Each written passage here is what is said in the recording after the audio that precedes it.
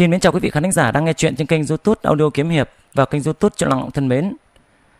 Thì ngày hôm nay Khánh Duy sẽ gửi tới quý vị và các bạn một bộ truyện tiên hiệp mới sau 3 ngày tháng chờ đợi. Một tác phẩm cũng của tác giả Thạch Trư hay còn gọi là Trạch Trư. Tác phẩm mang tên Độc Bá Thiên Hạ. Đây là một à, tác phẩm à, cũng được đánh giá rất rất là cao trong làng truyện tiên hiệp và của tác giả Thạch Trư với lối văn phong hài hước và cũng không kém phần à, sôi nổi gây cấn thì ờ, tác giả này cũng quá quen thuộc với khán thính giả trong kênh của mình rồi. Thì ờ, trước khi ờ, vào tập đầu tiên của bộ truyện độc bá thiên hạ thì khánh duy cũng chia sẻ một chút. Thời gian qua nhiều bạn kêu ca là quảng cáo nhiều quá. Thì nhân tiện đây khánh duy cũng chỉ cho các bạn cách uh, uh, làm sao để nghe chuyện không có quảng cáo. Vì bản thân khánh duy cũng nghe chuyện mà biết mà nghe chuyện bằng dính quảng cáo ức chế lắm. Thế nhưng tại sao khánh duy lại lại cài ừ, quảng cáo như vậy? Vì thứ nhất là kinh phí kênh giờ hiện giờ chưa có. Với thứ hai là 10 người thì đến 8 người dùng chặn quảng cáo rồi. Chỉ có hai người còn lại là không để ý và không tìm hiểu thôi. Thì 8 người đấy thì chả liên quan đến quảng cáo hoặc có được mà không có được. Mà trong khi đó thì kênh thì vẫn cần duy trì kinh phí. Bây giờ kênh nào cũng như thế. Kênh nào cũng như kênh nào cả. Chẳng qua là khánh duy chèn nhiều hơn một tẹo thôi. Vì khánh duy cái, cái tần suất khánh duy ra chuyện nó nhiều. Thì bắt buộc khánh duy phải phải phải phải cài thêm một chút để khánh duy tạo đà lấy kinh phí tạo đà duy trì kênh chứ. Bây giờ khánh duy cũng cũng phải phải phải làm phải ăn chứ. Chứ làm sao mà đọc truyện không mà sống được đúng không ạ? Thì các bạn um, thông cảm cho. Đấy cũng như mình chia sẻ đã 10 người thì 8 người dùng chặn quảng cáo rồi. Các bạn có thể lên google gõ ờ, uh, og youtube hoặc là uh, phần mềm youtube chặn quảng cáo. Đấy thì các bạn cứ gõ lên chỉ 2 phút down về và sử dụng thôi. Có gì đâu mà phải phải phải lâu la hoặc nặng nhọc gì đâu. Cũng chẳng mất tiền. Miễn phí free 100% cứ lên Google gõ OG YouTube, ờ, uh, OG uh, ờ, YouTube Advanced hoặc là YouTube Lupin, tất cả những phần mềm đấy đều có trên Google hết và miễn phí 100%. Có cả file APK các thứ cho các bạn download về. Các bạn chỉ cần lên gõ về và tải về và và nghe thôi. Vì cái đấy nó cũng chẳng liên quan gì cả, ảnh hưởng đến, đến đến kênh cả vì quảng cáo sẽ chạy ẩn ở bên dưới không ảnh hưởng đến kinh phí hoặc là cái gì đó liên quan đến cả vấn đề người nghe và vấn đề người đọc cả nên các bạn uh, hãy giúp Khánh Duy bằng cách đao các phần mềm chặn quảng cáo về để nghe chuyện cho nó thoải mái hơn. Và bây giờ mời quý vị và các bạn chúng ta sẽ cùng đến tập đầu tiên của bộ truyện Độc Bá Thiên Hạ. Tác giả Thạch Trư qua giọng đọc Khánh Duy. Mời quý vị và các bạn chúng ta cùng lắng nghe.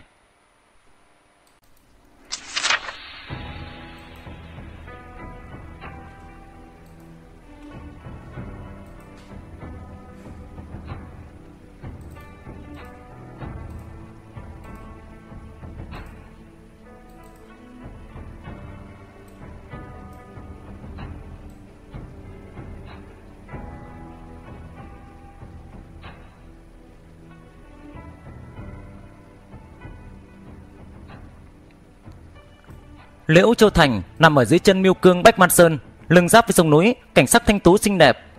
Nơi đây có nhiều hậu duệ của Kiều Lê, dân phong dũng mãnh. Người trẻ tuổi, thân thể cường tráng, lưng hùm vai gấu, lên núi làm nghề săn bắn, một người có thể khiêng trên dưới 100 cân lợn rừng mà vẫn có thể chạy đi như bay. Phong tục ở đây khác với Trung Nguyên, người ở đây kiệt ngao bất tuân, tín ngưỡng thập đại ma tôn, trong nhà cung phụng ma thần, khu thần lộng quỷ. Bởi vậy Bách Man Sơn cũng là nơi tụ tập của ma đạo vô sĩ, Sáng sớm ngày ra, võ trường ngoại viên của Diệp Phủ, gần trăm đệ tử Diệp gia đang tập võ nơi đây. Thắt lưng như cung, quyền như tiễn, cánh tay như roi, quyền cước đánh xuống, miệng thì hô quát tháo, khí thế như hồng. Mấy đệ tử thi thoảng nhìn về một chỗ khác ở trong võ trường, trong mắt hiện ra tần sắc khâm mộ cùng với ghen tị.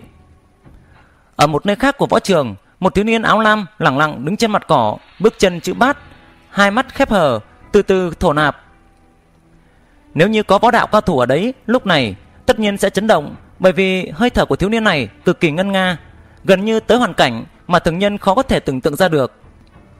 Lục phủ ngũ tạng của hắn đã lên tới cảnh giới như cương như sắt, giống như một cái máy quạt gió thật lớn. Những dòng khí hít vào thở ra làm cho cây cỏ chung quanh bị thở chúng thì cong hẳn đi. Cho dù là cao thủ nội gia khổ luyện võ đạo 10 năm cũng không chắc có thể làm được như thế này. Thiếu niên này tên là Diệp Húc, Tự là Thiếu Bảo, năm nay mới 14 tuổi, khuôn mặt non nớt có chút thanh tú. Hắn chính là huyết mạch chi thứ của Diệp gia, đứng hàng thứ bảy trong những con cháu cùng thế hệ. Diệp gia là vua hoang thế gia lừng lẫy Liễu Châu Thành. Phủ chủ Diệp Tư Đạo nổi danh ma đạo. Diệp Tư Đạo tu luyện mãng cổ chu khắp đại lực thần thông, vu pháp thông thần là vũ sĩ có thực lực mạnh nhất Liễu Châu, có được gia nghiệp khổng lồ. Diệp phủ hơn nghìn mẫu đất, trắng lệ vô cùng. Bên trong đình viện mọc san sát, thậm chí ngay cả nô bộc nhiều năm cũng thường xuyên lạc đường ở bên trong. Diệp gia gia nghiệp lớn, trong phủ cao thấp bao gồm cả gia nô cũng đều tập võ. Trong gia nô cũng không thiếu gì cao thủ, thậm chí tu luyện võ đạo tới cảnh giới tiên thiên cũng không ít. Diệp Húc cha mẹ chết sớm, 7 tuổi hắn tu luyện thường minh luyện thể quyết, chỉ nửa canh giờ luyện ra chân khí, tu vi đột nhiên tăng mạnh. Hai năm sau, hắn liền đem thương minh luyện thể quyết luyện tới tứ trọng.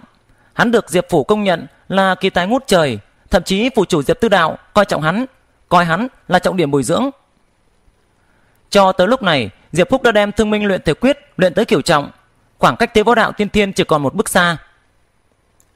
Lúc bấy giờ, ngoài võ trường, hai vũ sĩ trung niên đứng đấy, chấp sự nội phủ Diệp Tư Chân vuốt cằm cười lên tiếng nói: "Thiếu bảo, quả không hổ là kỳ tài ngút trời, ngắn ngủi có 7 năm đã tu luyện thương minh luyện thể quyết tới kiểu trọng rồi kìa. Năm 14 tuổi liền đánh vào thập trọng, tiến vào võ đạo tiên thiên, rất có tiềm chất như ta năm xưa." Một vu sĩ khác tên là Diệp Tư Thiên cũng là nội phủ chấp sự, nghe vậy thì cười ha hả nói: "Lão bát, ngươi đừng sơn son tiếp vàng lên mặt mình nữa đi, ai chẳng biết năm đó ngươi 26 tuổi mới trở thành võ đạo tiên thiên cao thủ chứ." Diệp Tư Chân thẹn quá hóa giận, hung hăng đấm hắn một quyền, rồi nói: "Lão cứu, cái tên cầm thú nhà ngươi chỉ biết nắm cổ ta thôi." Diệp Tư Thiên cười mắng một câu, ánh mắt ngưng trọng. Nếu thiếu bảo trước 20 có thể tiến vào võ đạo tiên thiên, Chẳng phải hắn sẽ có thể trở thành vũ sĩ trẻ tuổi nhất Diệp phủ ta 300 năm qua, thậm chí vượt cả tổ tiên hay sao? Muốn trở thành vũ sĩ, trước hết phải tu thành võ đạo tiên thiên, đem nguyên thần trong cơ thể chăm sóc dần dần lớn mạnh. Đây chính là kiến thức phổ thông của toàn bộ vu hoang thế giới. Diệp Tư Chân gật nhẹ đầu nói: Tổ tiên 15 tuổi trở thành vũ sĩ, khai sáng là Diệp Phố. Nếu như thiếu bảo trong năm nay có thể trở thành vũ sĩ được, chỉ sợ thành tựu của hắn sau này thật sự là vượt qua tổ tiên à. Diệp Tư Chân đột nhiên hô lên một câu, ánh mắt trợn tròn nhìn Diệp Húc, rồi thất thanh nói: "Lão cứu, chỉ sợ căn bản không tới cuối năm đâu. Cái thằng danh thiếu bảo này không ngờ hiện giờ có thể bước vào võ đạo tiên thiên rồi kìa." Diệp Tư Thiên thân hình chấn động, vội vàng nhìn lại, chỉ thấy ở dưới chân của Diệp Húc sinh ra một dòng chân khí xoay tròn, chỉ cảm thấy khó có thể tin được. Ngừng khí thành cương, không ngờ hắn đã luyện thương binh luyện thể quyết tới thập trọng rồi. Cũng trong lúc này, những đệ tử của Diệp Phổ khác cũng đã dừng lại, ngẩng đầu nhìn về phía Diệp Húc, trên mặt hiện ra đủ vẻ phức tạp. Chỉ thấy dưới chân của Diệp Húc, cố khí tụ hình tròn kia đã ngưng tụ không tiêu tán. Hơn nữa, tốc độ vận chuyển của nó càng lúc càng nhanh, càng lúc càng khuếch tán dần tới eo, rồi bụng, rồi đến đầu hắn. Cuối cùng nó bao phủ hắn vào bên trong, dường như là một loại lốc xoáy nhỏ. Trận gió tiến tới, cỏ cây trên mặt đất đều bị nhổ lên, trong trận gió lập tức tất cả đều bị dập nát. Ngưng khí thành cương, Thương minh luyện thể quyết thập trọng, ý nghĩa tu vi võ đạo đã bước vào một cảnh giới mới, ngưng khí thành cương trở thành tiên thiên cao thủ. Hơn trăm đệ tử Diệp gia có người thậm chí cả đời không thể sở tới cánh cửa này được, mà Diệp Húc lúc này đã bước tới cánh cửa đấy, tiến vào cảnh giới mà bọn họ mong muốn nhưng không được. Qua hồi lâu, cương khí từ từ tán đi, Diệp Húc mở hai mắt, lộ ra sắc màu vui vẻ, hắn thầm nghĩ: Trời không phụ người có lòng, cuối cùng cũng có thể đem thương minh luyện thể quyết luyện thành cương khí được rồi. Hiện tại ta chỉ còn cách cảnh giới vô sĩ một bước xa nữa mà thôi. Trong lòng của Diệp Phúc rất rõ ràng, ở trong đám đệ tử Diệp Phủ, chỉ có hắn là cha mẹ mất sớm, không có bất luận bối cảnh cùng căn cơ gì cả. Tuy rằng hắn lưng đeo danh võ học thiên tài, đạt được phủ chủ Diệp Tư Đạo coi trọng, nhưng mà đối với hắn mà nói, đó chỉ là như phủ vân mà thôi. Diệp Phủ dù sao cũng là vua hoang thế gia ở Miêu Cương, chỉ có thể trở thành vô sĩ mới có thể chân chính đạt được coi trọng của gia tộc, trở thành trọng điểm bồi dưỡng hơn nữa sau khi trở thành vũ sĩ, thân phận địa vị tăng lên gấp bội, quyền thế thật lớn, có được quyền sinh quyền sát ở trong tay. Võ đạo có tất cả 10 trọng cảnh giới, tu luyện tới võ đạo tiên thiên đã là đỉnh phong của phàm nhân rồi. Nhưng đối với vũ sĩ mà nói, võ đạo tiên thiên chỉ là mới bắt đầu. Cảnh giới vũ sĩ càng thêm khổng lồ, võ đạo tiên thiên không thể nào so sánh nổi. Diệp Phong từ trong đám người tiến lên chắp tay cười nói: ờ, "Thất đế, chúc mừng đế, 14 tuổi thành tựu tiên thiên, Ngươi là đệ nhất nhân của Diệp gia ta 300 năm qua rồi. Trong ánh mắt khen tặng của hắn còn mang theo đủ loại ghen ghét. Hắn lớn hơn Diệp Húc gần 2 tuổi, đứng hàng thứ 6, tư chất rất tốt, hiện giờ cũng đã tu luyện thương minh luyện thể quyết tới thất trọng. Trong Diệp gia này, hắn cũng được coi là nhân vật kiệt xuất. Tuy nhiên, so sánh với Diệp Húc, thành tựu của hắn liền nhỏ bé đến không chút đáng kể. Diệp Phúc cho hắn cảm giác dường như là một tòa núi lớn áp xuống người hắn, làm cho hắn không thể nào thở nổi. Diệp Phong ra sức khổ tu, ra sức đuổi theo, thế nhưng khiến cho hắn tuyệt vọng chính là khoảng cách của hắn với Diệp Phúc không những không nhỏ lại mà ngược lại càng lúc lại càng lớn. Không chỉ có hắn, chỉ sợ trong lòng tất cả đệ tử Diệp gia đứng ở đây đều có cảm giác này ở trong lòng. Lục ca quá khen rồi. Diệp Phúc thu thần thái của hắn vào trong mắt, cũng không để ở trong lòng, mỉm cười đáp lễ. Những đệ tử Diệp gia khác cũng đều xông tới, chúc mừng không ngớt bên tay, đẩy Diệp Phong sang hẳn một bên. Diệp Húc nhất nhất đáp lễ, trong lòng hắn biết, những đệ tử Diệp gia này cung kính như vậy, thậm chí có chút a dua, chủ yếu là bởi vì hắn bước vào võ đạo tiên thiên, hắn gần như trăm phần trăm có thể trở thành vu sĩ, từ nay về sau địa vị ở Diệp gia một bước lên mây, bởi vậy mới định bợ lấy lòng. Được rồi, được rồi, đều tản đi cho ta, chạy về tập võ đi. Diệp Tư Chân đuổi mọi người đi, cười với Diệp Húc rằng Thiếu bảo, hiện giờ ngươi đã thành tựu tiên thiên võ đạo, chúng ta phải đi võ bị khác rồi. Chỉ cần thông qua thí nghiệm của võ bị khác thôi, người chính là vũ sĩ trẻ tuổi nhất trăm năm qua của Diệp Phú. Diệp Húc gật đầu theo hắn đi tới võ bị các. Võ bị các của Diệp gia có bí pháp đánh thức nguyên thần. Chỉ cần là đệ tử Diệp gia trước 30 tuổi, tu vi đạt tới cảnh giới tiên thiên, đều sẽ có tư cách đi vào trong võ bị các đánh thức nguyên thần, đạt được ma đạo truyền thừa để mà trở thành vũ sĩ. Cái gọi là nguyên thần kỳ thực chính là tinh phách. Bất kỳ kẻ nào từ khi sinh ra đời sẽ nhiễm tinh phách vạn vật. Chủng loại tinh phách có chim bay cá nhảy, tranh hoa điểu, trùng ngư, thậm chí là hồn tinh quái, yêu thú, phách của tinh tú. Con người mới sinh ra nguyên thần suy yếu, chỉ có luyện võ đạo tới cảnh giới tiên thiên, nguyên thần mới có thể đạt tới cường độ kết nối như thiên, đạt được thiên đạo kế thừa. Bởi vậy trên giới Diệp gia, thậm chí cả Gia Nô đều tu luyện võ đạo, tu luyện võ nghệ. Nguyên thần có mạnh có yếu, đại biểu cho tư chất vô sĩ. Diệp Húc hiện giờ đã là võ đạo tiên thiên cao thủ, nguyên thần của hắn cũng đủ hùng mạnh, trở thành vũ sĩ gần như là chuyện chắc chắn. Bên ngoài võ bị cát, Diệp Húc ngẩng đầu nhìn tòa tháp muôn hình vạn trạng này, trong lòng cảm khái vô cùng. Tu luyện tới tiên thiên cảnh giới đối với người thường mà nói đã là mong muốn không thể thành được rồi, nhưng đối với vũ sĩ mà nói, ngay cả bắt đầu cũng không tính nữa kìa. Ta tuy rằng đem thương minh luyện thể quyết tu tới thập trọng, ngừng khí thành cương, nhưng nếu quyết đấu với vũ sĩ, cho dù là vũ sĩ nhất cấp thôi, cũng không có bất luận phần thắng nào cả. Tu vi võ đạo cao tới đâu, thủy chung cũng là phạm phu tục tử, mà vũ sĩ cũng là nguyên thần kết nối chư thiên, đạt được thiên đạo kế thừa, nhảy ra khỏi phạm trù phạm nhân rồi, có đủ loại năng lực không thể tin nổi. Mà hiện giờ, hắn rốt cuộc cũng sắp trở thành một vũ sĩ, trong lòng kích động thì có thể biết. Đừng có thất thần, chạy vào nhanh đi. Diệp Tư Chân thúc giục Diệp phúc khơi định thần lại, nhấc chân đi vào trong võ cát.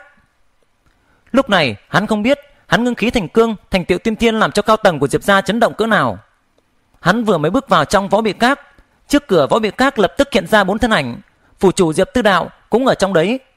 Ba người khác cũng là người cầm quyền cao nhất của Diệp gia, Vu sĩ lừng lẫy, Liễu Châu Thành. Có thể thấy được cao tầng Diệp gia đối với việc Diệp Húc có thể trở thành vu sĩ có bao nhiêu coi trọng. Địa vị của Diệp Tư Chân kém bốn người kia xa xa chỉ có thể đứng ở một bên. Người đàn ông trung niên mặc áo bào màu tím, tên là Diệp Tư Mẫn, chậm rãi lên tiếng. Thiếu bảo 7 tuổi tu luyện thương minh luyện thể quyết 9 tuổi luyện tới tứ trọng, Chính là thiên tài ngàn năm có gặp. Không nghĩ tới hiện giờ, Hắn lại càng làm cho người ta kinh ngạc kìa. 14 tuổi, có thể luyện thương minh luyện thể quyết tới thập trọng được rồi. Lão già mặc áo bào xám gật đầu, lên tiếng. Diệp gia ta mờ phủ 300 năm, Người tu luyện tới tiên thiên không ít. Thế nhưng mà 14 tuổi, Có thể đạt được võ đạo tiên thiên. Chỉ có một mình hắn ta. Nói hắn là thiên tài chỉ sợ, Còn là coi thường hắn rồi kìa. Phù chú, Bức kỳ tài ngút trời này, Thật sự là may của Diệp gia ta mà. Ta đề nghị toàn lực bồi dưỡng Diệp Phúc này. Diệp Tư Đạo sắc mặt nghiêm trọng, trầm giọng nói, Diệp Phúc đích thật là kỳ tài ngút trời, Điểm này không thể phủ nhận. Tuy nhiên trọng dụng hắn hay không, Còn phải xem hắn có trở thành vũ sĩ được không đã kìa. Hết thảy Đợi hắn đi ra rồi hãy nói đi. Phủ chủ lên tiếng, Ba người khác vội vàng câm miệng, Yên lặng đứng trước cửa của võ bị cát Bên trong võ bị cát Diệp Phúc ngẩng đầu nhìn tòa bảo khố của Diệp gia này. Đây là lần đầu tiên hắn tiến vào nơi đây. Đập vào mắt đầu tiên là cái gương đồng cao hơn trượng, Hình quả trứng. Quanh thân của nó điêu khắc hoa văn long phượng, Tản mắt ra một khí tức mang phong cách cổ xưa vô cùng. Hiển nhiên cái gương đồng này Có từ thời xa xưa, Không phải là một kiện đồ vật bình thường. Phía dưới gương đồng là một con thiềm thử một con cốc lớn bằng đồng, tứ chi chạm đất, miệng mở to, ngậm lấy cái mặt gương đồng này. Diệp Phúc từng nghe đệ tử khác trong gia tộc nói tới cái gương đồng kỳ quái này. Nghe nói gương đồng này tên là thông tâm thần kính, là một kiện vu bảo thần kỳ. Người đứng trước nó có thể chiếu thấy nguyên thần rồi kết nối với thiên đạo. Một lão nhân tóc trắng xóa ngồi ngay ngắn ở trước thông tâm thần kính. Đỉnh đầu của lão trào ra một luồng khí màu đen, giống như một đám mây đen bao phủ phạm vi trên dưới 3 mét. Một tấm cờ đen không ngừng qua lại trong khí đen, trên mặt cờ run run, bay phất phới. Lão nhân lông mi trắng mắt ưng, tản mắt ra khí tức khiến cho hắn gần như không thể thở gấp được. Diệp Húc trong lòng khẽ động. Người này chính là vũ sĩ trưởng quán võ bị các, hồi ưng Diệp Phan sao? Nghe nói lão nguyên là một nhân vật vũ sĩ ma đạo, nổi danh Liễu Châu. Nguyên thần chính là một con ưng màu cho khổng lồ. Người này lòng dạ lang sói, không biết bao nhiêu mệnh người chết trên tay hắn ta rồi. Sau đó được phủ chủ thuyết phục tiến vào Diệp Phủ, phụ trách bồi dưỡng vũ sĩ mới cho Diệp ra Lão nhân tên Diệp Phan kia phát hiện có người tiến vào, dương đôi mắt, há miệng hút một cái, hắc khí trên đỉnh đầu bị hút vào trong bụng. Sau đấy, lão nhẹ nhàng vươn bàn tay to gầy như củi, nhẹ nhàng vẩy một cái, mặt cờ đen nhẹ nhàng rơi xuống tay. Lá cờ này lập tức dài ra, trong khoảnh khắc đã cao bằng một người. Trên mặt cờ tối đen có vẻ quỷ dị, âm trầm vô cùng. Diệp Phan chống cờ đen đứng lên, nhìn Diệp Phúc không lớn tuổi, không khỏi lộ ra ánh mắt kinh ngạc, âm trầm mà nói: "Tuổi còn trẻ mà đã luyện tới tiên thiên bá thể, coi như là một nhân tài. Tiểu tử, đứng ở trước thần kính đi, không cần loạn động, để cho thần kính chiếu nguyên thần của ngươi." Diệp Phúc không người thi lễ, đi tới trước mặt gương đồng to lớn, hướng tới mặt kính. Hắn chỉ thấy mặt kính giản dị, không ánh sáng, một màu xanh mênh mang, căn bản không nhìn ra bất kỳ hình ảnh nào cả. Trong lòng của hắn còn đang kinh ngạc, đột nhiên lão nhân Diệp Phan rút ra một thanh đao nhọn. Đao phong từ trong lòng bàn tay lão lập tức xẹt qua, máu tươi trào ra. Diệp Húc vừa sợ vừa giận, còn chưa kịp làm ra phản ứng gì, đã thấy Diệp Phan run run tấm cờ đen, mãnh liệt quát lớn một tiếng, lập tức một đoàn máu đen từ trong tay Diệp Húc bay lên, dũng mãnh tiến thẳng vào trong cờ đen. Tấm cờ lớn kia được máu huyết làm cho dịu lại, màn xương đen cuồn cuộn đột nhiên hóa thành một khô lâu dài hơn một thước. Một ngụm khói đen phun lên trên gương đồng, Diệp Phan quát lớn một tiếng. Năm ngón tay trái của lão nhảy lên biến hóa, trong khoảnh khắc đánh ra trăm bàn tay ấn. Lão quát lên: "Nguyên thần hiển hóa, kết nối chư thiên, mở!" Diệp Húc lúc này mới biết Diệp Phan cũng không có ác ý, chỉ có điều mở ra thông tâm thần kính này, cần máu tươi của hắn làm dẫn, như thế mới hiển hóa ra nguyên thần, kết nối với chư thiên. Diệp Húc vội vàng nhìn lại phía gương đồng, chỉ thấy màu xanh trên mặt thông tâm thần kính dần dần biến mất, mặt kính chậm rãi biến sáng, hình ảnh trong kính cũng mơ hồ trở nên rõ ràng hơn. Thanh âm âm trầm của Diệp Phan từ bên cạnh truyền tới. "Tiểu tử, đợi nguyên thần hiển hóa thành, ngươi phải chịu dụng tâm mà nhận thức đi, kết nối với thiên đạo. Nếu là có thể được thập đại ma đạo trong thiên đạo tán thành, thiên đạo sẽ ban thưởng cho ngươi một tòa ngọc lâu. Trong ngọc lâu bao hàm toàn diện, thậm chí là bao gồm cả vô pháp cùng tâm pháp tu luyện của vũ sĩ. Được ngọc lâu mới có thể thành ma đạo tu sĩ được. Diệp Húc cũng có chút hiểu biết về vô sĩ, hiểu được hàm nghĩa trong lời nói của lão. Điều kiện trở thành vô sĩ chính là nguyên thần phải kết nối với chư thiên, đạt được thiên đạo tán thành. Cái gọi là thiên đạo kỳ thực chính là quy luật của thiên địa. Thế gian vạn vật đều trong quy luật của thiên địa. Từ xưa tới nay không ai có thể thoát được trói buộc của thiên đạo. Mà kết nối với thiên đạo, nói trắng ra chính là cường giả võ đạo dùng nguyên thần của mình kết nối với chư thiên, đạt được kế thừa một phần quy luật thiên địa. Loại kế thừa này chính là tâm pháp và vu pháp. Tâm pháp có thể nâng cao tu vi vu sĩ, vu pháp là thủ đoạn công kích của vu sĩ. Cửu thiên pháp tắc ban tặng bảo vật là tháp, thập địa pháp tắc ban tặng bảo vật là lâu. Vũ sĩ đạt được bảo tháp chính là được kế thừa chính đạo, mà kế thừa ma đạo chính là vũ sĩ thu nhận được ngọc lâu. Chư thiên ban thưởng bảo tháp, ngọc lâu chia ra làm 9 phẩm 4 giai, 36 cấp bậc. Lấy bảo tháp là ví dụ, bảo tháp số tầng càng nhiều, phẩm bậc càng cao, tâm pháp cũng càng tốt. Trong đấy, 9 tầng là 9 phẩm, cùng bốn loại nhan sắc là vàng, xanh, đen, trắng. Màu vàng là tốt nhất, màu xanh tiếp theo, sau đó tới màu đen, cuối cùng mới là màu trắng là thấp nhất. Bảo tháp 9 tầng màu vàng là tốt nhất, là vô thượng chí bảo, tu luyện tâm pháp trong tháp có thể đại thành, có thể thông thần. Bảo tháp 8 tầng là bát phẩm, lấy loại này mà suy ra. Về phần bảo tháp một tầng là nhất phẩm, phẩm bậc thấp nhất, tâm pháp trong tháp cũng không được xếp hạng. Vũ sĩ cũng được gọi là hạ phẩm, mà nếu là tháp màu trắng, bạch ngọc tháp, bạch ngọc lâu thì là hạ hạ phẩm, hạ hạ giai. Tu luyện hạ phẩm tâm pháp không có bất luận pháp lực nào cả, gần kề chỉ cao hơn võ học thế gian một bậc mà thôi. Trong giây lát, màu xanh trên mặt thông tâm thần kính đã tản đi ra ngoài. Diệp Phan gật đầu nói. Rốt cuộc cũng xuất hiện. Tiểu tử, hãy xem kỹ, đây là nguyên thần của ngươi. Diệp Húc trong lòng cả kinh, vội vàng nhìn lại chỉ thấy trong kính xuất hiện một thiếu niên áo lam thanh tú, đúng là bóng dáng của hắn. Đột nhiên hình ảnh trong kính ầm ầm bùng nổ, thân hình trong nháy mắt tan rã, phân giải thành hàng tỷ viên linh quang, trải rộng toàn bộ mặt kính. Nhiều điểm tròn tròn giống như hàng tỷ ngôi sao sáng trong đêm vậy. Những linh quang này dường như bị một lực lượng vô hình dẫn đi, dần dần ngưng tụ cùng nhau, hình thành nên một cây đại thụ cổ xưa, cành lá sum xuê, tán cây che trời. Cây cổ thụ này không biết sinh tồn bao lâu, bao nhiêu vạn năm, cực kỳ cổ lão tăng thương, hào quang vạn đạo, nghìn tia sáng từ trên đỉnh cổ thụ chút xuống. Nguyên thần ngủ say rốt cuộc cũng thức tỉnh. Trong mê mang, Diệp Phúc dường như cảm giác được có cái gì đó trong cơ thể mình, rốt cuộc cũng đã thức tỉnh lại. Trong lòng của hắn vui vẻ, không nói lên lời. Diệp gia phủ chủ đời thứ nhất khi thức tỉnh nguyên thần đã từng nói, thấy kính gặp tâm hiểu được bản tính của mình. Hôm nay ta mới rõ, lúc trước ta không hiểu những lời này, hiện giờ rút cuộc cũng đã hiểu rồi. Hóa ra hắn nói chính là sử dụng thông tâm tần kính thức tỉnh nguyên thần, mới biết nguyên thần của mình là dạng gì. Đột nhiên Diệp Phúc dường như cảm thấy theo nguyên thần của mình thức tỉnh, trong đan điền lại nhiều hơn một vật. Diệp Phúc vội vàng nhìn kỹ lại đan điền, chỉ thấy trong đan điền của hắn sung mãn thương minh chân khí. Nó giống như một biển mây lớn, mà ở dưới biển mây có một tòa bạch ngọc lâu phập phồng ở trong đấy. Nó bắn ra hàng tỷ đạo hào quang, chiếu biển mây rực rỡ một mảnh. Tòa bạch ngọc lâu này chỉ có một tầng, không biết được đúc lên bằng tài liệu gì, giống kim loại thế nhưng cũng không phải, giống ngọc mà cũng không phải. Bốn góc của nó nhọn, bên trên có hình long đầu ngậm ngọc châu, thân tháp che kín những hoa văn cổ quái, giống như mây mù quay cuồng, long xà nhảy múa vậy. Diệp Phúc kinh ngạc vạn phần. Ta còn chưa kịp kết nối với chư thiên, đạt được thiên đạo tán thành, như thế nào đan điền đã nhiều hơn một tòa bạch ngọc lâu vậy? Chẳng lẽ là tòa bạch ngọc lâu này luôn luôn tồn tại trong cơ thể ta, chỉ có điều ta không phát hiện ra thôi sao? Khi nguyên thần của ta thức tỉnh, nó mới hiện lộ ra một chút thôi sao? Diệp Phan cũng khiếp sợ khó hiểu. Lão trưởng quản võ biệt khác 10 năm nay vẫn là lần đầu tiên nhìn thấy người có nguyên thần là một gốc cây đại thụ kỳ quái. Thật kỳ quái. Nguyên thần của ta là một con ưng màu cho bụi khổng lồ. Nguyên thần của phù chú Diệp Tư Đáo là tượng cổ dị chúng yêu thú mãng cổ chú cáp. Nguyên thần của những người khác trong phố cũng là yêu thú. Mà sao tiểu tử này lại có nguyên thần kỳ quái đến như vậy đây? Hiện giờ phải xem xem tiểu tử này có đạt được thập địa ma đạo ký thử hay không, có thể trở thành vu sĩ hay không. Ồ, tốt, tốt lắm.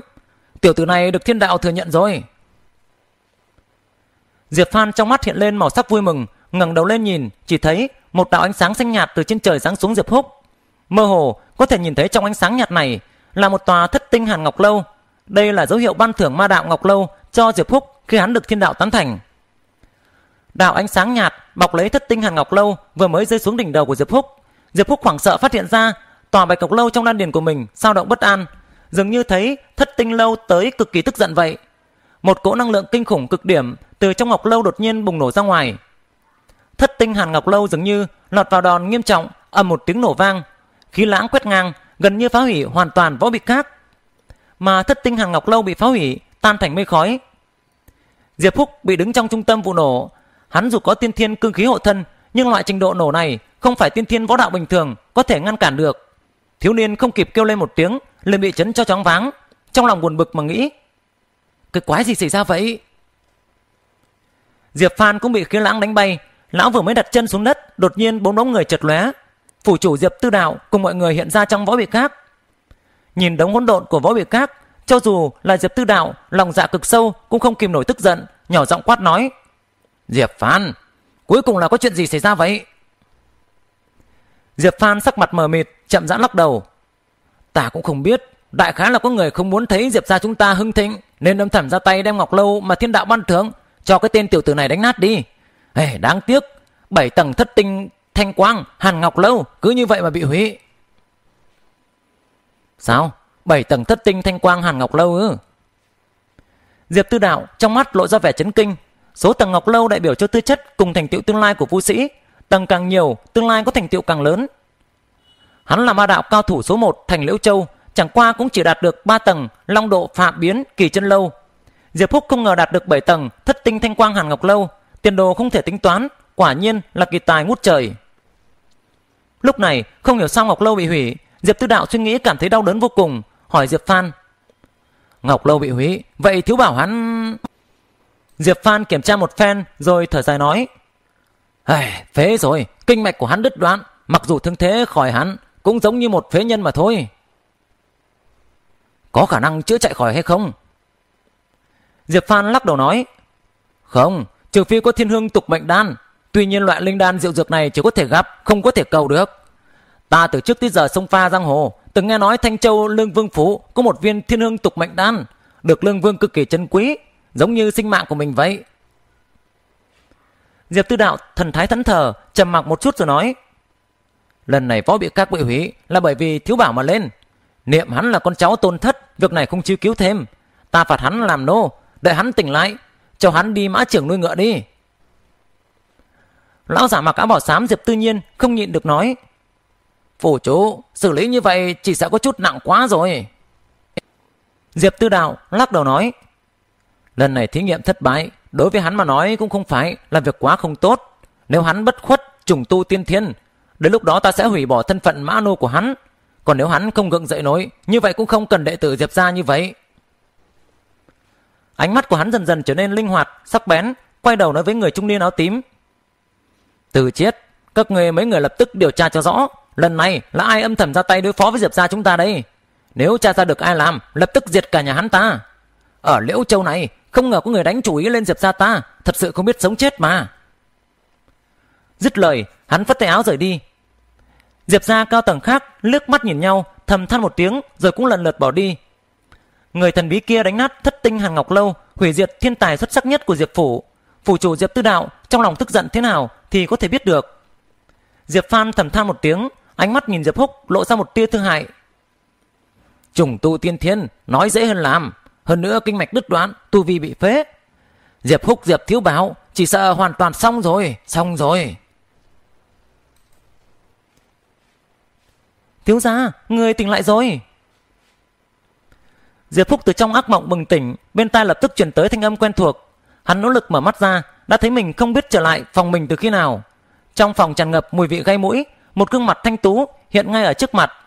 Trong tay của nàng còn cầm một bát thuốc, trên mặt hiện ra niềm vui phát ra từ trong nội tâm. Thiếu nữ kia là nha hoàn của hắn, tên là Tô Kiều Kiều, tuổi cũng không lớn, sắp xỉ hắn. Hắn cha mẹ mất sớm, chỉ lưu cho hắn lão bộc Tô Phúc. Tô Phúc đối với hắn trung thành tận tâm, tuy nhiên bởi vì tuổi già sức yếu, không quá vài năm đã mất. Trước khi Tô Phúc chết đi, lo lắng Diệp Phúc không có ai chiếu cố, vì thế đưa cháu gái Tô Kiều Kiều của mình tới Diệp phủ để cho nàng hầu hạ cuộc sống ăn uống hàng ngày của Diệp Phúc. Tô Kiều Kiều tuy nhỏ tuổi, thế nhưng nhu thuận, lanh lợi, dịu dàng động lòng người. Nàng chiếu cố Diệp Phúc rất cẩn thận, khiến cho hắn có thể chuyên tâm tu tập võ đạo. Diệp Phúc dãy giụa đứng dậy, chỉ thấy tứ chi bách hài, đau đớn vô cùng. Hắn không khỏi nhíu mày, vận chuyển thương minh luyện thể quyết. Hắn không thúc giục tâm pháp thì còn tốt, tâm niệm vừa động chỉ cảm thấy một cỗ đau đớn kịch liệt toàn thân truyền tới. Nó làm cho hắn đau tới mức không thể không kêu lên một tiếng, lập tức lạnh lòng đi nhiều. Đan điền của hắn đã trống rỗng, thương minh chân khí khổ tu suốt 7 năm đã không cánh mà bay.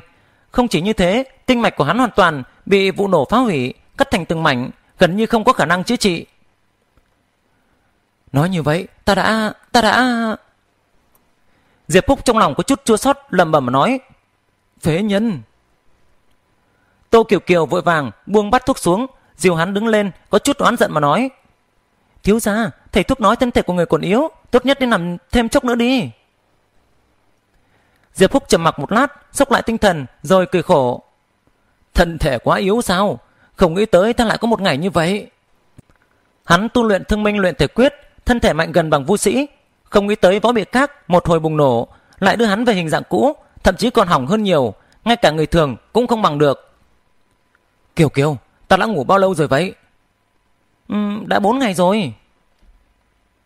Mề màn suốt 4 ngày sao? Diệp Phúc khóe miệng lộ ra một tia cười khổ, lắc đầu.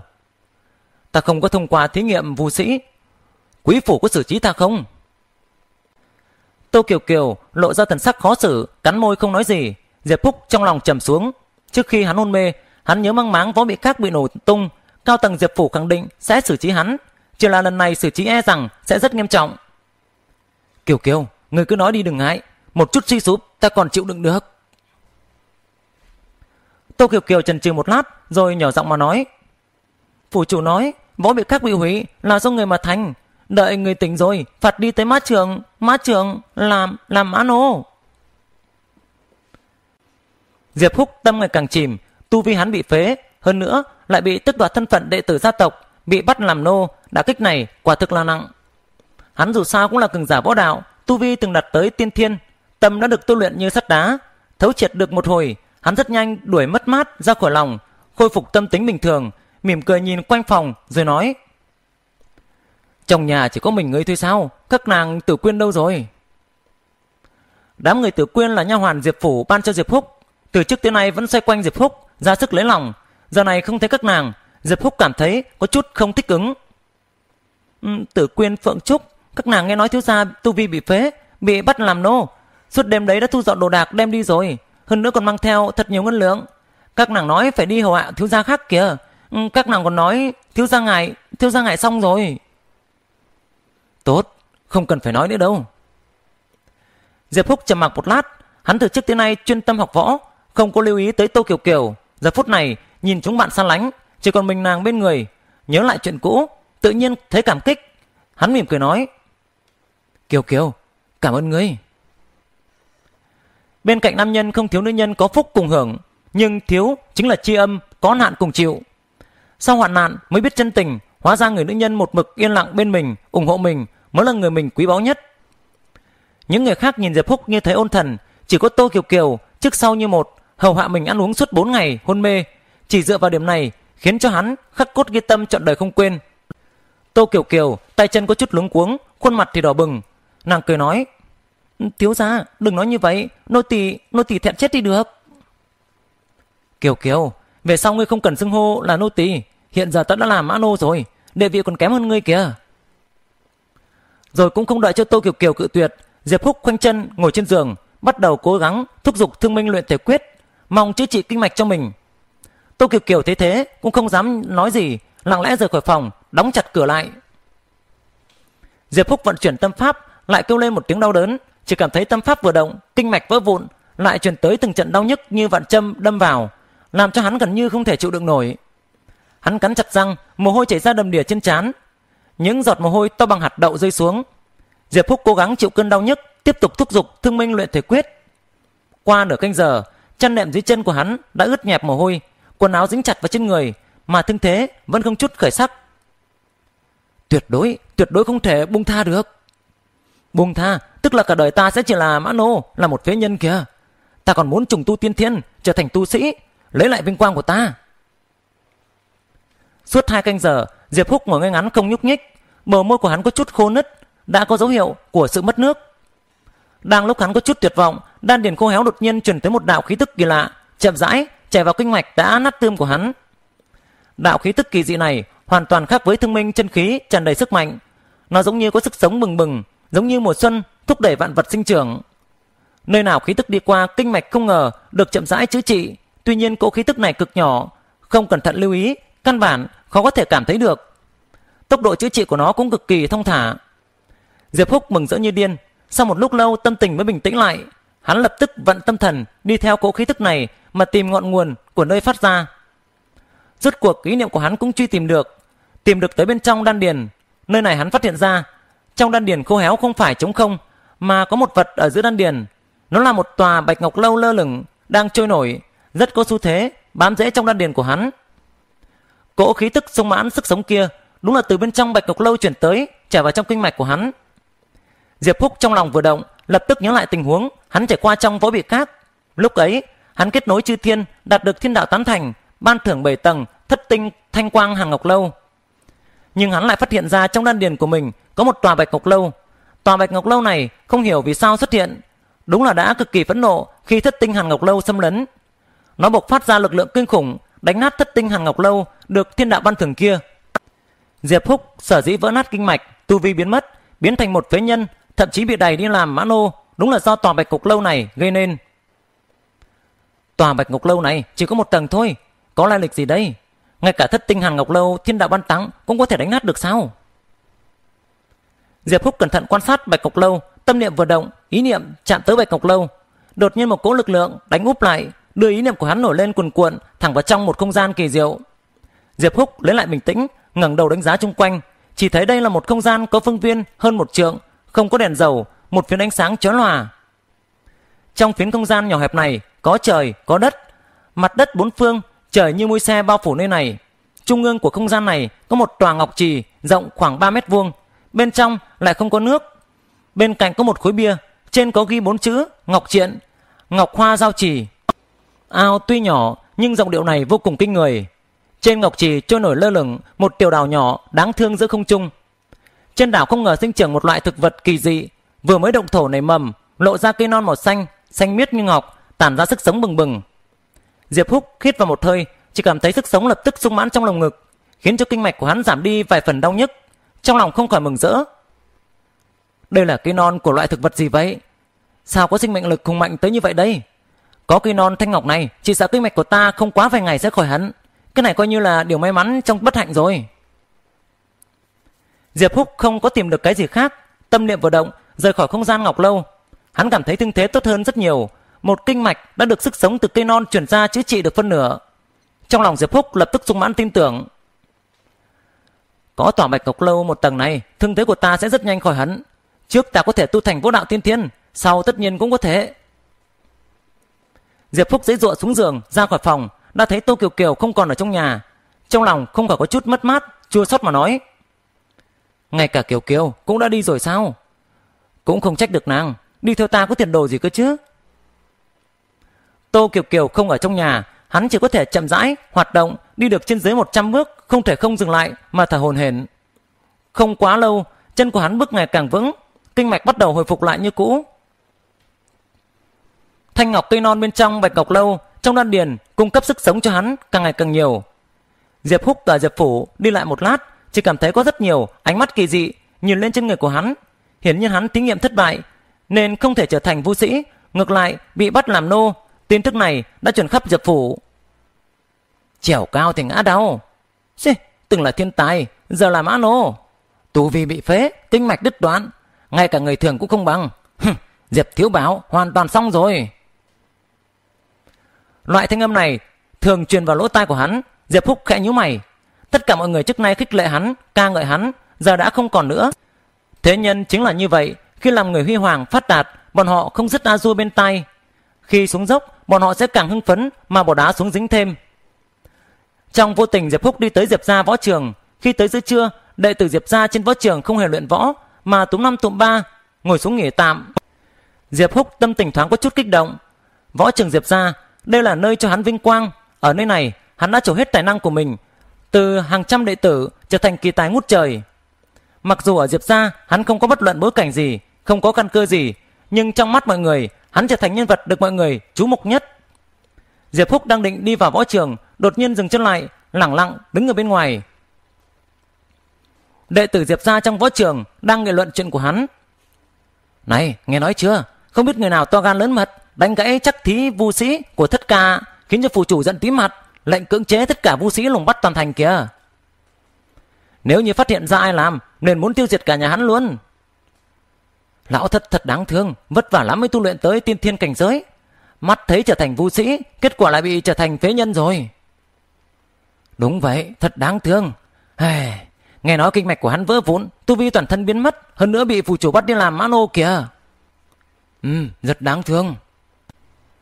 Đột nhiên thanh âm của Diệp Phong truyền tới, hắn xì cười mà nói: "Hừm, bọn người các ngươi cũng quá giả vờ giả vịt rồi. Lão thất sau khi biến thành phế nhân, các ngươi có người nào mà trong lòng không cao hứng muốn chết đây? Còn ở đây mà giả vờ giả vịt, giả vờ thông cảm sao? Thật là dối trá mà." Diệp Phúc sắc mặt tái nhợt, chỉ thấy đám đệ tử Diệp gia huynh đệ của hắn, một đám cùng sẽ mở ngụy trang, thông cảm và bi thương trên mặt, cười to mà nói: "Vẫn là Lục Ca ngay thắng, thật đúng là đàn ông mà." Quả thật lão thất từ trước tới giờ cho ta áp lực thật sự là quá lớn rồi. Hắn ép ta tới gần như không thể thở nổi kìa. Lúc này hắn bị biến thành phế nhân, lòng ta ngược lại nhẹ nhàng thở ra, sảng khoái không nên lời. Diệp Phúc nghe thấy người huynh đệ của hắn cười nói: hey, "Từ trước tới giờ có hắn ở đây, ánh mắt của người trên đều nhìn vào hắn. Lúc này hắn bị phế đi, cũng tới lượt chúng ta ngẩng đầu lên rồi." Lão thất không biến thành phế nhân chúng ta làm sao có cơ hội mà ngẩng đầu được chứ? Đúng vậy đúng vậy Nói thật chúng ta phải cảm ơn người đánh lén lao thất kìa Diệp Húc thần thái đỡ đẫn Hai tay run lên nhẹ nhẹ Đây là những huynh đệ ngày thường thật nhìn hòa khí, tìm mọi cách khen ngợi lấy lòng hắn hay sao? Mãi tới hiện tại, hắn mới nhìn rõ diện mạo thật của huynh đệ mình. Trong nháy mắt, dường như những khuôn mặt quen thuộc này đã trở nên xa lạ, dữ tợn, không gì sánh được. Lão thật bị phế, đây đúng là sự kiện tốt đáng để ăn mừng. Đợi sau khi luyện xong tất cả đi vạn hoa lâu, ta sẽ mời cả kỹ uống rượu. Diệp Phong cười ha ha, đột nhiên nhìn thẳng ra ngoài võ trường. Diệp Húc đang đứng lặng lặng nơi đấy, không khỏi sắc mặt kịch biến, kinh hô. Ồ, lão thất à! Những đệ tử khác cũng ồ lên một mảnh, liếc mắt nhìn một cái, cúi đầu không biết nói cái gì nữa. Diệp Húc trong lòng lúc này thất vọng với huynh đệ vạn phần, xoay người yên lặng mà tránh ra. Diệp Phong vội vàng nhảy đuổi theo, ngăn trước mặt Diệp Húc, sắc mặt xấu hổ mà nói: "Ờ thiếu bảo, vừa giờ chúng ta chỉ nói giỡn thôi, ngươi đừng để ở trong lòng." Diệp phúc lạnh lùng lướt hắn một cái, Diệp Phong chỉ cảm thấy ánh mắt đảo qua người hắn, lập tức người như bị cắt một nhát. Hắn dường như biến lại thành người trước kia vẫn cung kính, trong ánh mắt lộ ra vẻ ghen ghét cùng hâm mộ đáng thương.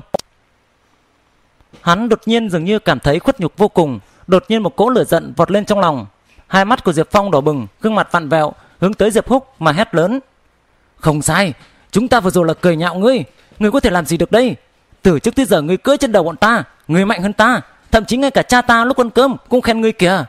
Mà không phải khen ta, ngoại trừ tư chất của ngươi tốt hơn chúng ta ra một chút, ta chưa điểm nào là kém ngươi cả. Ngươi đã không phải là Diệp Thiếu Bảo của ngày trước nữa rồi, ngươi chỉ là một kẻ đáng thương, một thứ rác dưới, một mã nô, một thằng hề. Giả vờ thanh cao cái gì chứ, ta nhổ vào. Diệp Phong đem những gì đè nén ở tận đáy lòng nhiều năm hết thảy phun ra hết, chỉ thấy sảng khoái hơn rất nhiều. Những không vui từ trước biến thành hư không, ngạo nghễ mà nhìn Diệp Phúc. Hiện tại phải ăn nói khép nép, không phải là hắn, mà là thiên tài đã ngã xuống Diệp Phúc, Diệp Thiếu Bảo này. Diệp Phúc lặng lặng nghe hắn nói xong, thản nhiên nói: "Lục ca, người thất thố rồi."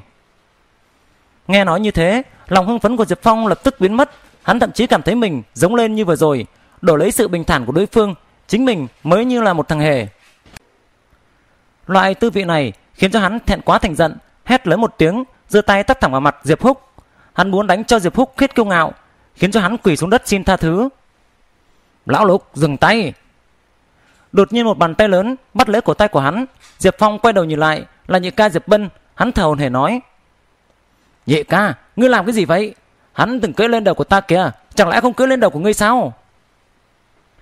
Diệp Bân khóe miệng run rẩy, hừ lạnh một tiếng. Hừm, thật không có tiền đồ, thiếu bảo tu vi từng cao hơn ngươi và ta, tự nhiên đáng để kính nể rồi.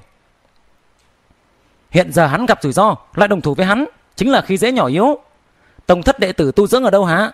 Truyền ra bên ngoài, sẽ làm mất thể diện Diệp gia ta kìa. Dứt lời, hắn quay sang Diệp Húc nhận lỗi mà nói. Thật đệ, chuyện vừa rồi vi huynh thật không phải. Diệp Húc trong lòng ấm áp, đang muốn nói chuyện, đã thấy Diệp Bân cười âm âm nói. Ồ, ta nói sai rồi, Ngươi đã không phải là đệ tử tông thất nữa rồi Đương nhiên không thể gọi ngươi là thất đệ Đúng không mã nô tiên sinh? Diệp Phúc nhìn chằm chằm vào nhị ca Diệp Bân Đang ra vẻ thật thà chất phác kia. Dường như đây là lần đầu tiên Diệp Phúc nhận biết hắn vậy Rồi xoay người liền rời đi. Diệp Phong kiêu ngạo cười to ở phía sau Nhị ca cũng là ngươi lợi hại Dễ dàng đem tiểu mã nô tức chết đi được. Tiểu mã nô Nhà của ngươi ta đã định rồi Ngươi là một nô tài Làm sao có tư cách ở lại trong nội phủ chứ Tiếng cười chói tai truyền tới, những đệ tử Diệp gia khác cũng đều tiến lên khen tặng Diệp Bân. Diệp Húc lúc này mặt trầm như nước, lần trải qua này khiến cho hắn ý thức được thực lực hùng mạnh trọng yếu như thế nào. Chỉ cần có đủ thực lực, người khác sẽ kính trọng ngươi, không có thực lực sẽ giống như hôm nay vậy, ngay cả tòa nhà cha mẹ để lại cũng không giữ được.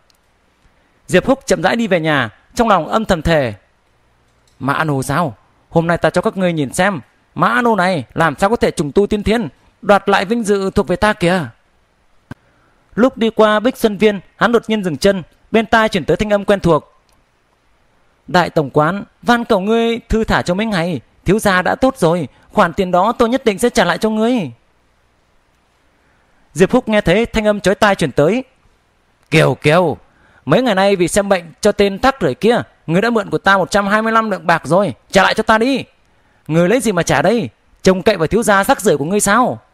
Diệp Thiếu Bảo đã bị phế đi rồi. Nay cả vu sĩ nội phú cũng bó tay không biện pháp gì cả. Người cho rằng đám lang băm ở Liễu Châu này có biện pháp gì hay sao? Diệp Húc theo tiếng nhìn lại, chỉ thấy Tô Kiều Kiều quỳ gối đau khổ, cầu xin trước mặt lão già, âm u lạnh lẽo. Lão già kia là quản gia ngoại môn Diệp phủ, tên là Diệp Ly, phụ trách quản lý gia nô ngoại môn. Diệp gia chính là Liễu Châu Thành, vu hoang thế gia, gia nô cũng tinh tu võ đạo. Lão bộc Diệp lê này trong mấy ngàn gia nô của Diệp phủ chính là một cường giả tiên thiên cảnh giới, xếp top 10. Tên hiệu của hắn là Càn Khôn Thủ, địa vị của hắn ở trong Diệp phủ, thậm chí còn ở phía trên một ít đông thất đệ tử chi thứ. Kiều Kiều, không phải lão phu vô tình, số bạc này cả đời ngươi cũng không kiếm được đâu. Tuy nhiên, lão phu thương ngươi, cho ngươi một con đường sáng. Trong mắt của Diệp Ly đã sớm thèm thuồng đến nhỏ dãi, không ngừng. Nếu không phải Tô Kiều Kiều là nha hoàn của Diệp Phúc, hắn đã sớm xuống tay. Tô Kiều Kiều nhìn ánh mắt của hắn, thân hình run lên, dường như hiểu được điều gì đấy. Diệp Ly không phải là người tốt, nàng nghe nói lão già đã bước nửa chân vào quan tài này, háo sắc vô cùng, đã gây tai họa cho không ít nha hoàn của Diệp phủ.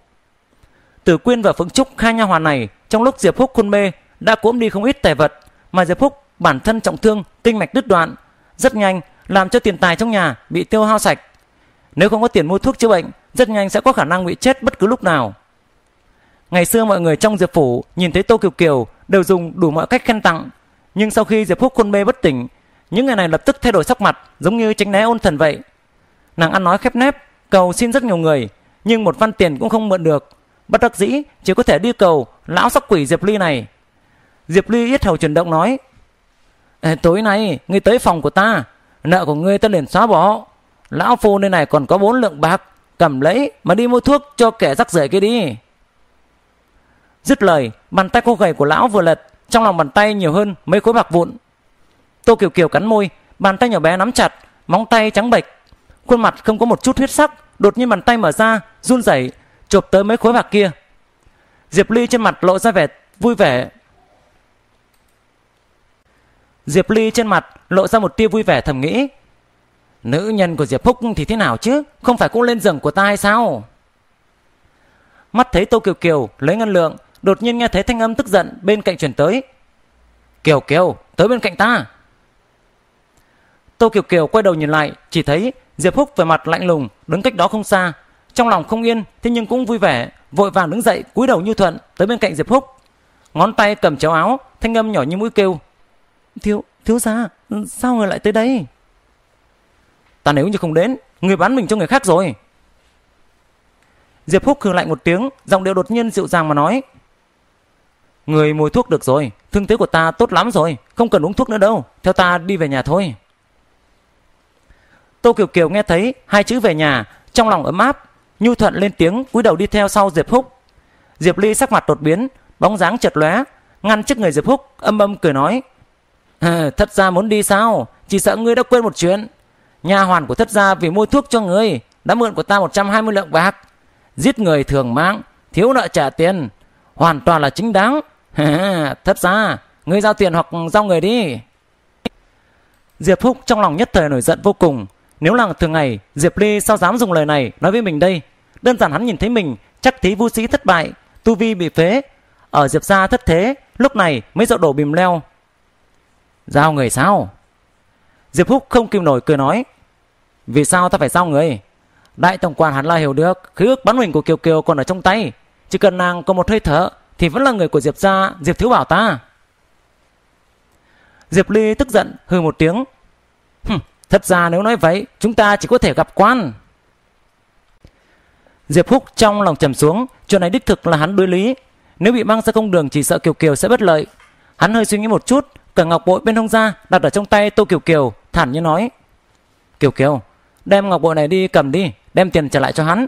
Miễn cho hắn khiến cho ta phải ghê tởm. Thiếu gia, đây là ngọc bội lão gia để lại cho người, không thể bán được. Tô Kiều Kiều thấy miếng ngọc bội dường như cầm phải củ khoai lang nóng, trong lòng lo sợ bất an, nàng liền kinh hô lên. Nàng biết khối ngọc bội này là di vật duy nhất của phụ thân Diệp Húc lưu lại cho hắn, nó có ý nghĩa vô cùng trọng đại với Diệp Húc. Từ trước tới nay, Diệp Húc giữ nó kỹ như sinh mạng của mình vậy, tùy thân liền mang theo, không nghĩ lúc này vì nàng mà tính toán đem khối ngọc bội này bán đi trả nợ. Ngọc bội trọng yếu, thế nhưng không bằng người.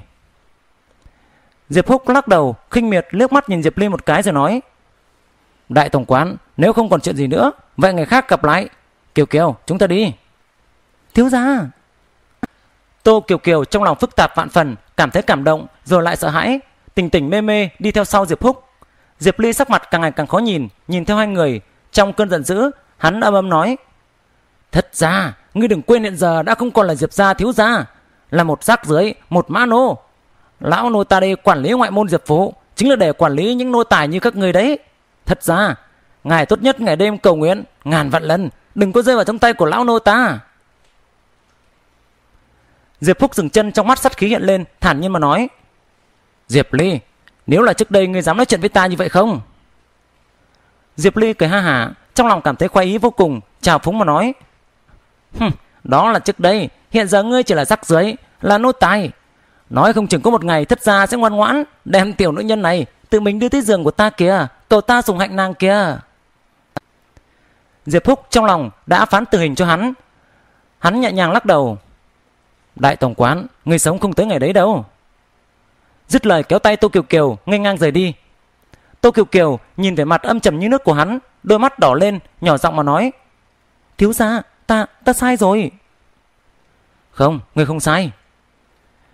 Diệp Phúc sắc mặt dịu đi Tô Kiều Kiều, làm hết thảy để cứu mạng của hắn, thậm chí không tiếc hủy đi thân thể của mình. Phần tâm ý này trong lòng hắn sao không rõ đây.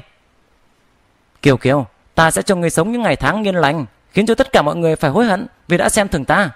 Tất cả mọi người sẽ hâm mộ ngươi, ta sẽ trở thành vũ sĩ, tuy nhiên ngươi phải đáp ứng với ta một việc. Diệp Húc nhìn chằm chằm vào ánh mắt của nàng, vô cùng kiên định mà nói: "Ta không muốn ngươi lãng phí bản thân mình." Tô Kiều Kiều bị hắn nhìn, tâm loạn như nai con, khuôn mặt không khỏi đỏ lên, gật đầu liên tục. Diệp Húc khẽ mỉm cười nói: "Được, vậy thì đi thôi, chúng ta chuyển nhà, tới mã trường nào."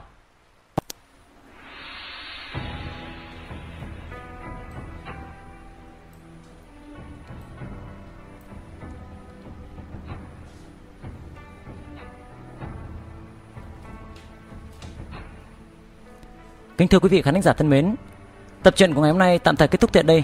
Chúc quý vị nghe chuyện vui vẻ. Xin chào và hẹn gặp lại quý vị ở các tập tiếp theo.